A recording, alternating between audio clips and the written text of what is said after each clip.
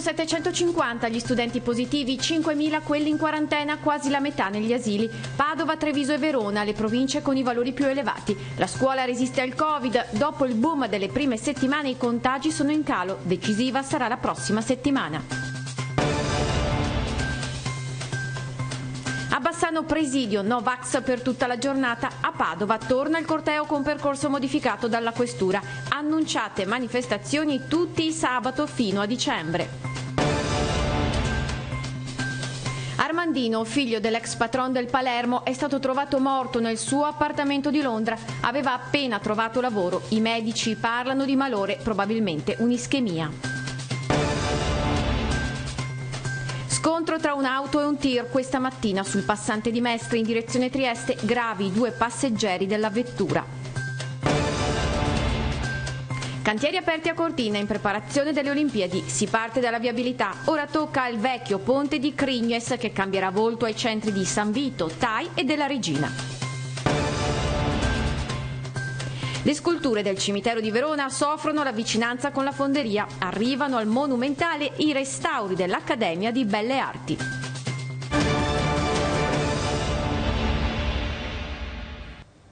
Telegiornale del Veneto, prima edizione, buongiorno e ben ritrovati. In apertura, come avete sentito, parliamo di Covid e scuola, perché la scuola comunque sembra resistere. Dopo il boom di casi della prima settimana, quella del 13 settembre, la discesa importante e soprattutto continua dei contagi. Sono 750 gli studenti oggi positivi, 5.000 quelli in quarantena, quasi la metà nelle scuole dei più piccoli.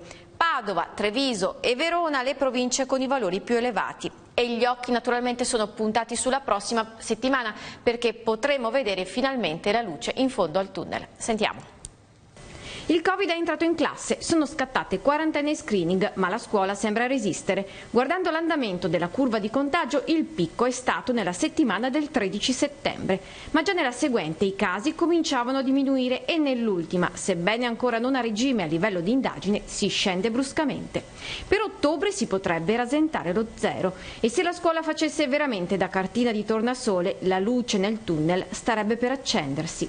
Dall'inizio dell'anno scolastico sono 650 56 quelli che i bollettini della Regione chiama eventi, ovvero almeno un positivo in classe, che significa 756 studenti ad oggi con il Covid. Poche dunque le classi con più di un positivo. 5.267 persone monitorate, 4.997 i ragazzi in quarantena.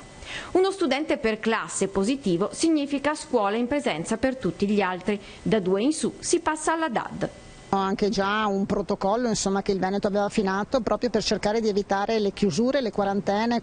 Mentre nel resto del paese si va in ordine sparso, ma il modus operandi della regione potrebbe essere esteso considerata la percentuale dei vaccinati in tutta Italia. Abbiamo presentato il nostro modello e penso che nei prossimi giorni ci sarà anche un chiarimento, quindi su scala nazionale. A soffrire maggiormente sono i piccoli, della scuola dell'infanzia e della primaria. Oltre la metà dei contagi sono qui. Anche per la fascia dei docenti il numero più importante si trova nella primaria, 194 in quarantena, unico numero a tre cifre tra gli adulti che lavorano nella scuola. Tra le zone più colpite l'area euganea, seguono la Marca Trevigiana e il Veronese. E allora parliamo anche di No Vax. Tra l'altro titola proprio oggi la Corriere del Veneto, a parlare è eh, il sottosegretario Sileri, a casa i sanitari No Vax. I servizi sono a rischio per le sospensioni e quindi il sottosegretario parla di nuove assunzioni. Troveremo una soluzione, ha detto. È una prima risposta dunque del governo dopo l'allarme lanciato dai governatori delle regioni italiane, tra queste anche quella del Veneto. Già 400 150 gli operatori senza stipendio. E quindi intanto oggi è sabato continuano appunto anche le manifestazioni Novax tra le piazze ricordiamo oggi quella di Bassano e quella di Padova e intanto noi ci colleghiamo proprio con Bassano perché qui la manifestazione durerà tutta la giornata tra sit-in e, ehm, e dibattiti. Per noi quindi a Bassano c'è Vincenzo Pittureri e quindi a te la linea Vincenzo. Ecco. Siamo in Prato Santa Caterina al raduno eh, dei Novax, il movimento eh, R2020. Siamo qua con eh, Sara Cugnal, parlamentare bassanese. Sostenitrice del movimento al quale chiediamo quella che è la crescita del movimento e, e com'è la situazione al momento. La rete R2020 è una rete di reti che rappresenta in questo momento 150 fuochi in tutta Italia più una ventina all'estero ed è nata per essere punto di riferimento di chi non solo vuole ribellarsi a questa situazione ma soprattutto riprogettare un nuovo futuro, delle soluzioni alternative che possono essere delle soluzioni reali e concrete nei territori, diffuse nei territori, come diceva Giulietto Chiesa, creare dei fuochi di resistenza affinché sia impossibile reprimerci tutti. Questo lo vogliamo fare a partire dall'educazione parentale, a partire dall'agricoltura sostenibile, a partire dall'autodeterminazione a 360 gradi. Lo possiamo fare, siamo in grado di farlo e diffonderemo sempre di più questa possibilità anche aprendo le porte a chiunque vaccinato o non vaccinato. Ringraziamo allora Sara Cugnal del suo intervento, ricordiamo che alla manifestazione è presente anche Enrico Montesano, noto sostenitore del movimento. Allora, per il momento è tutto, linea allo studio. Ed è vigilia di protesta invece a Padova, mancano poche ore perché il corteo qui si terrà questo pomeriggio a partire dalle 17.30, un percorso di corteo peraltro modificato come sapete dalla questura per non penalizzare sempre le stesse piazze del commercio, ma le vetrine si sentono sotto scacco i residenti prigionieri perché le manifestazioni a Padova sono già previste fino a Natale. È vigilia di un altro giorno di protesta di piazza. Padova si prepara ad accogliere la manifestazione No Pass numero 11, in una città che mostra segni di stanchezza che prova a modificare i percorsi del corteo, anche perché la strada sarà lunga, picchetti, sfilate e cartelli sono previsti fino a dicembre. Hanno dichiarato che vanno avanti fino a Natale. Sospira il sindaco, cortei fino a Natale, percorsi da ripensare per tante altre settimane. La logica sarà ogni volta cercare di cambiarlo con il loro accordo, parlo del prefetto e questore, in modo tale che, dia che non dia sempre disagio al solito posto. Dicembre è ancora lontano e la città si sente sotto scacco, mostra segni di insofferenza. Teghe del centro o la, la, la, la circolazione automobilistica sicuramente dà fastidio, come tutte le manifestazioni. Non è un disagio. Cioè, c'è la libertà di pensiero, ognuno la vede come vuole, però per me non va bene. Sicuramente un disagio enorme e non so perché ormai siamo c'è una confusione totale. Loro assolutamente hanno diritto a manifestare, come noi rivendichiamo il diritto al lavoro. A ciò si aggiunge la notizia di una persona risultata positiva al Covid a seguito del corteo di sabato scorso, una notizia che circola e fa discutere che solleva ulteriori perplessità. Io sto adesso sulla bacheca del giornale, così chissà che imparino, non so cosa dire. E comunque sono dell'idea che ognuno è libero di pensarla come vuole, anche se io non sono d'accordo, chiaramente. Se loro non vogliono vaccinarsi, eccetera, è un problema loro e che però va a incidere anche sulle altre persone. L'appuntamento di sabato è fissato per le 17.30 nel piazzale della stazione e sono attese 4.000 persone. Il nuovo percorso autorizzato dalla Questura prevede che il corteo possa raggiungere il Parco della Musica alla Stanga passando per Corso del Popolo, via Trieste, via Tommaseo e via Venezia. Un passo, un passetto, un contentino è da apprezzare se si vuole, una buona volontà è dimostrata. Voltiamo pagina, passiamo a quella della cronaca. Il mio Angelo Armando se n'è andato. Questo il messaggio inviato nel cuore della notte di Laura Giordani, mamma del quinto figlio dell'ex presidente del Palermo Maurizio Zamparini. Il cuore di Armando, 23 anni, si è fermato giovedì a trovare il corpo senza vita del ragazzo nella sua camera dell'appartamento di Londra dove viveva da qualche anno. È stata la domestica che ha subito dato l'allarme. Fino a poche ore prima aveva condotto la vita di Sembra incontrando i colleghi di lavoro con i quali condivideva un progetto imprenditoriale appena avviato. Per stabilire le cause del decesso sono in corso indagini mediche. Tra le ipotesi più accreditate viene avvalorato un malore improvviso che avrebbe causato l'arresto circolatorio. Armando si è spento serenamente nel suo appartamento a Mayfair, scrivono in una nota i legali della famiglia. E ancora cronaca e quindi eh, incidenti stradali, l'incidente questa volta tra un'auto e un mezzo pesante è avvenuto al chilometro 406 dell'autostrada A4 passante di Mestre all'alba di oggi in direzione Trieste. Sono rimaste ferite in modo grave due persone che viaggiavano a bordo della vettura. Il sinistro si è verificato per cause ancora al vaglio della Polizia Stradale di Mestre poco dopo lo svincolo per Venezia Est tra i territori di Mogliano Mogliano Veneto e Quarto d'Altino. Sul posto, oltre alla polstrada, sono intervenuti i vigili del fuoco, il SUEM 118, il soccorso meccanico e il personale di concessioni autostradali venete coordinato dal centro operativo di Mestre. E ancora a cronaca andiamo sul sito di gazzettino.it che ci porta invece a Porto Gruaro. Qui un incendio litiga con i genitori e brucia la casa. Da questa mattina i vigili del fuoco di Porto Gruaro sono impegnati per spegnere l'incendio e mettere in sicurezza un'abitazione di via San Martino. L'allarme è partito verso le 7 quando il primogenito, poco più che ventenne, di una coppia che vive nel rione di San Nicolò, si è arrabbiato con i genitori per futili motivi. Da qui la follia e quindi le, le, le fiamme che uscivano dalla cucina e eh, i vicini vicini che si sono allarmati e hanno allertato quindi i pompieri.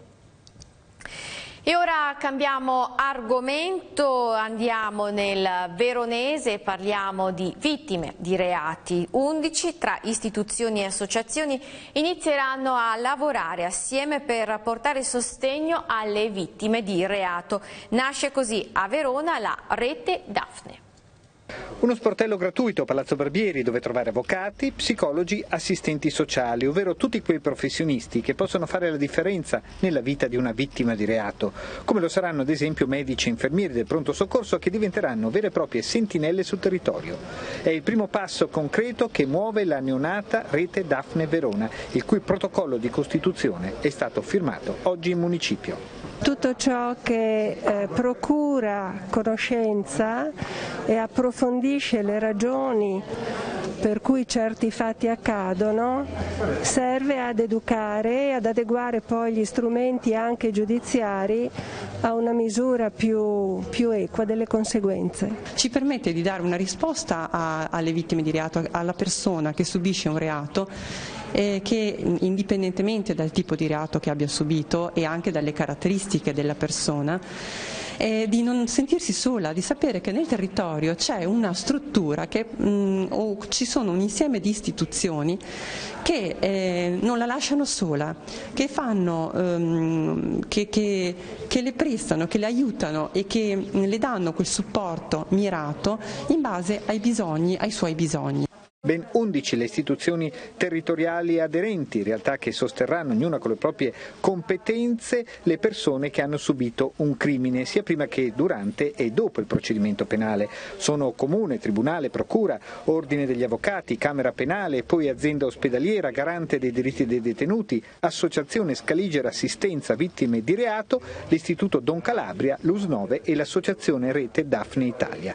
Tra i compiti dei firmatari, accoglienza e ascolto, supporto, accompagnamento e orientamento verso servizi specialistici e programmi di giustizia riparativa, prevenzione del fenomeno di vittimizzazione, formazione di tutti gli operatori coinvolti, attivazione di percorsi di sensibilizzazione e condivisione di best practice fra i professionisti, formalizzazione dei tavoli di sensibilizzazione per favorire il dialogo interistituzionale, infine promozione della riflessione culturale e sociale che possa sollecitare adeguamenti normativi.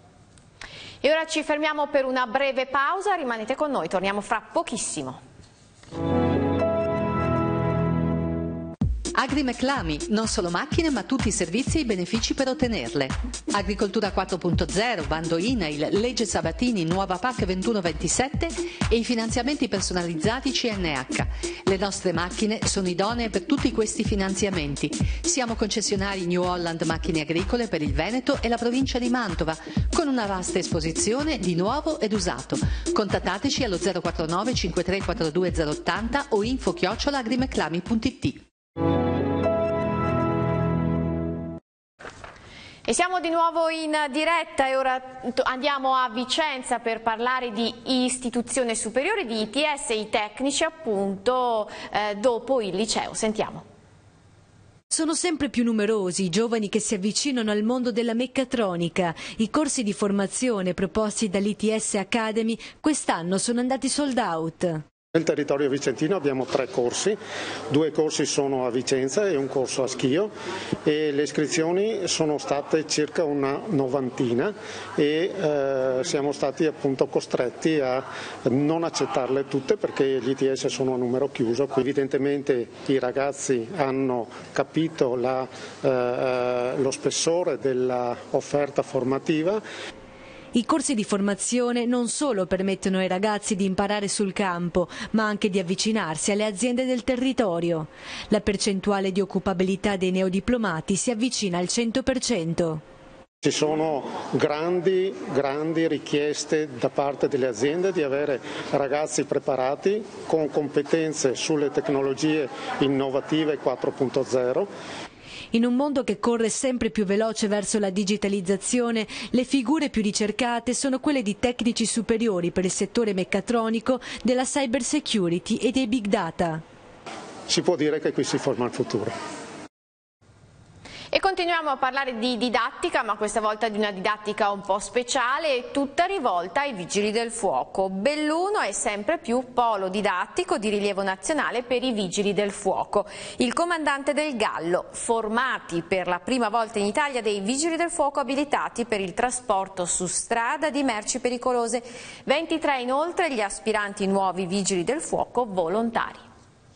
Il comando provinciale dei Vigili del Fuoco di Belluno si conferma sempre più un polo didattico di rilevanza nazionale. Alla Toigo si è concluso un corso avanzato per il personale permanente. Termina con una sessione d'esame il primo corso ADR, cioè un primo corso per il trasporto su strada di merci pericolose nel quale sono impegnate le unità del comando di, Belluno ma anche alcune unità eh, di altri comandi della, della regione. Quindi è un primato diciamo, eh, che, che, vanta il, il, comando di Belluno, aver formato per, per, la prima volta in Italia dei vigili del fuoco abilitati al trasporto su strada di merci pericolose. Le attività dedicate alla formazione sono comunque più di una. Questa settimana iniziano e terminano numerosi, numerosi corsi, eh, cito ad esempio il corso di topografia applicata al, soccorso per il personale permanente del comando di di Belluno e eh, l'inizio oggi del corso da 120 ore per il personale volontario dei Vigili del Fuoco che verrà a essere distribuito nei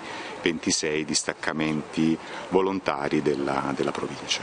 23 gli aspiranti futuri vigili del fuoco volontari, forze nuove quanto mai preziose considerata la conformità del territorio provinciale. Sono una, una risorsa per, per questo comando perché evidentemente le caratteristiche del territorio non permettono alle sedi permanenti di coprire in maniera tempestiva e adeguata tutto il territorio per cui la possibilità di ricorrere a personale volontario è di fondamentale importanza. Al termine del corso saranno dunque quasi 500 le unità del personale volontario operanti in provincia che vanno a sommarsi ai 260 vigili del fuoco permanenti. All'orizzonte anche per loro si pone il tema Green Pass. La situazione mm, prevede che dal 15 di ottobre tutto il personale per poter svolgere il servizio dovrà essere dotato di, di Green Pass. Io confido ovviamente eh, sul senso di responsabilità del, del nostro personale e sono sicuro che non avremo difficoltà a eh, superare anche questo, questo scoglio del 15 di, di ottobre.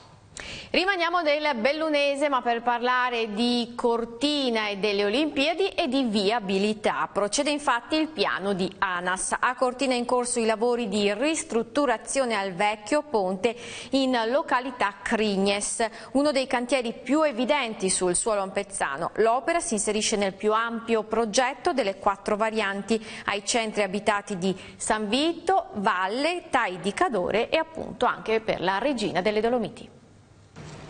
Proseguono le attività di ANAS nell'ambito del piano straordinario di potenziamento della viabilità per Cortina.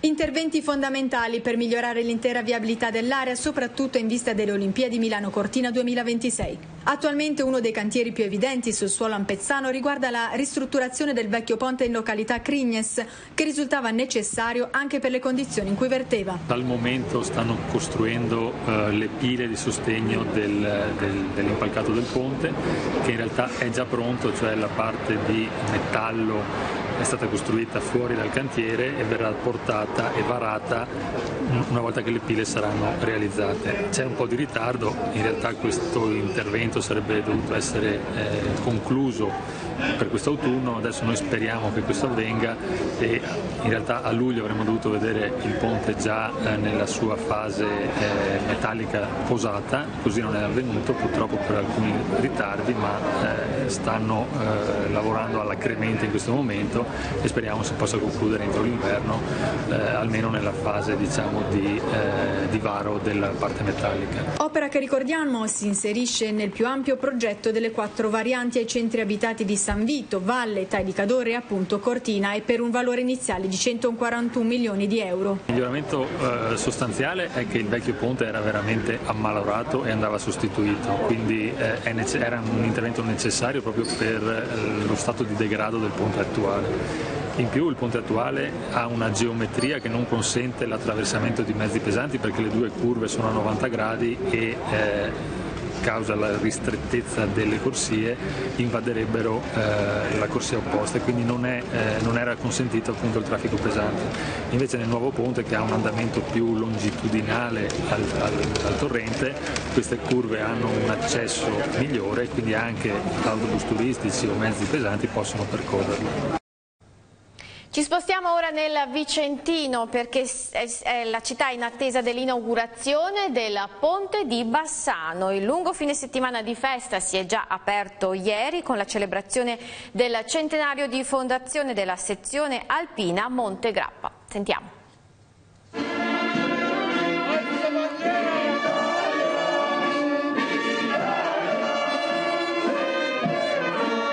La grande festa è cominciata ieri mattina alle 8.30. L'alza bandiera nel parco Ragazzi del 99 a Bassano ha dato inizio a un lungo fine settimana destinato a culminare domani nel taglio ufficiale del nastro sul ponte degli Alpini.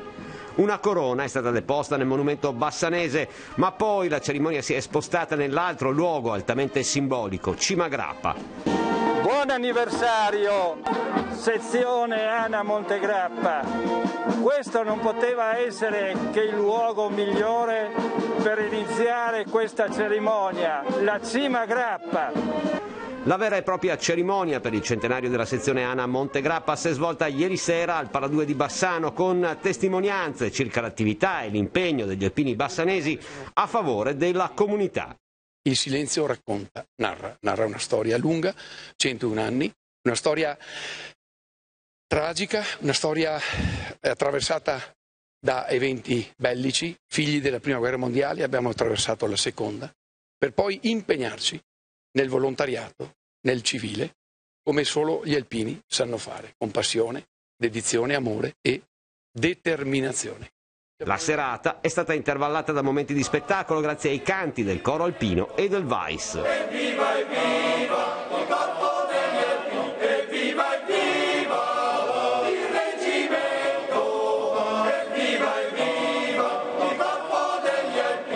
Nel frattempo la città di Bassano si sta riempiendo di alpini in arrivo da tutta Italia che domani sfileranno sul ponte finalmente ritrovato come monumento nazionale e come simbolo di unità.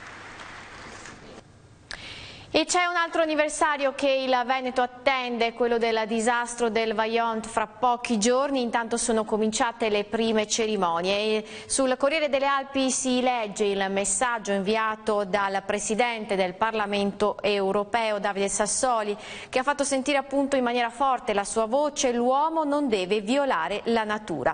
Le prime cerimonie come vi dicevo per l'anniversario del Vaillant sono cominciate ieri sulla diga e in paese, oggi a Longarone per ricordare è Mario Fabri. Il Presidente del Parlamento europeo Davide Sassoli doveva esserci già l'anno scorso, la malattia però lo ha trattenuto in terapia anche ieri, per cui ha inviato questo messaggio comunque forte che parla anche di ambiente. Allora noi rimaniamo nel Bellunese per parlare proprio di ambiente, anche se Belluno si è trasferito per questa occasione a Siena, dove una rappresentanza è intervenuta al convegno Conversazioni dedicato proprio all'ecologia e ai temi ambientali.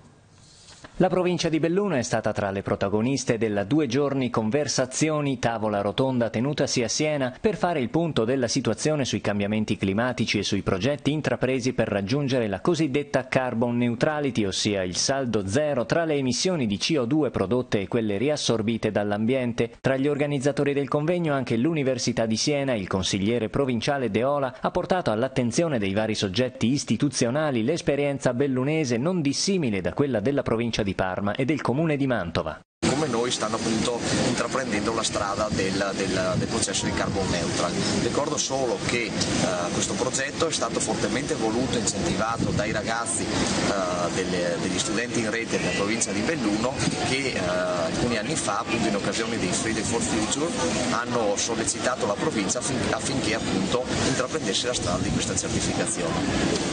Al centro dell'intervento del consigliere le criticità bellunesi nella qualità dell'aria, ad esempio il superamento dei valori di riferimento per quanto riguarda la sostanza inquinante del benzoapirene, ma anche gli aspetti positivi conseguenti alla tempesta Vaia del 2018, un evento, continua De Ola, che è stato indice di consapevolezza del cambiamento climatico in atto. Il progetto Carbon Neutrality avrà anche un partner d'eccezione, sarà proprio l'Università di Siena ad effettuare uno studio per la raccolta dati delle emissioni prodotte nel nostro territorio territorio. Nei prossimi mesi, dunque, una volta conclusa l'elaborazione e l'analisi dei numeri, la provincia avrà le informazioni per valutare le misure da intraprendere. L'obiettivo finale, conclude il consigliere, è varare le azioni necessarie per ottenere la certificazione carbon neutral. Abbiamo il dovere di conservare la qualità dell'ambiente in cui viviamo.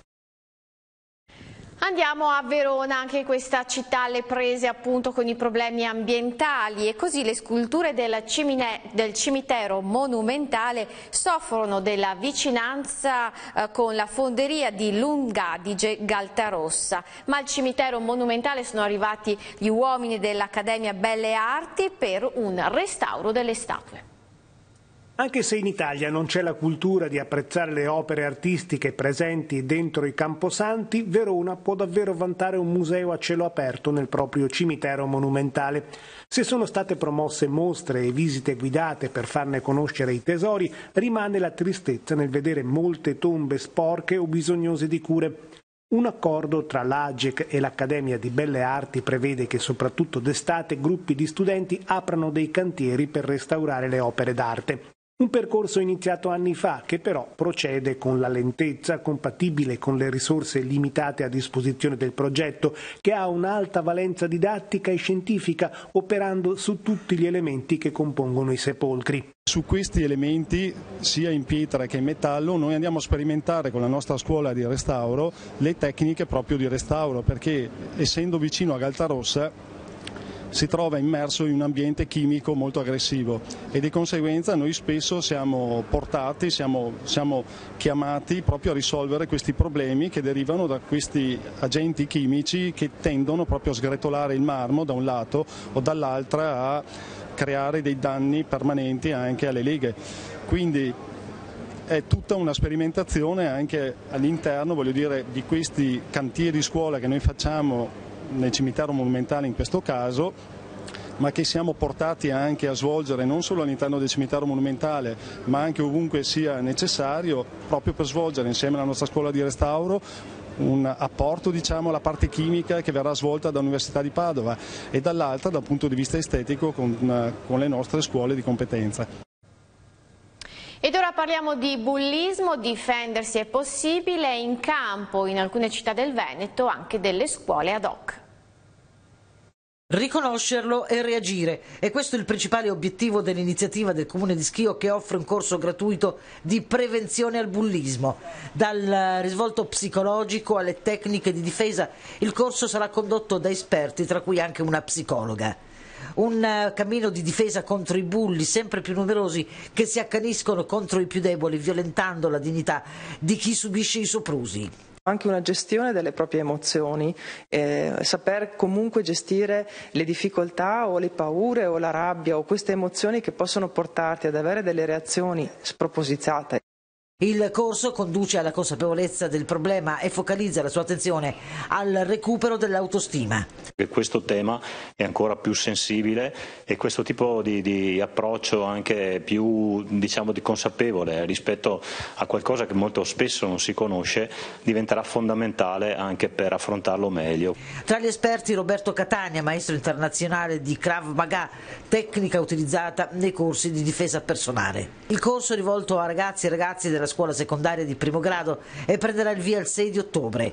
Per partecipare è necessaria la prenotazione al numero 351 8687 883. Il telegiornale del Veneto termina qui, prossima edizione alle 18. Arrivederci.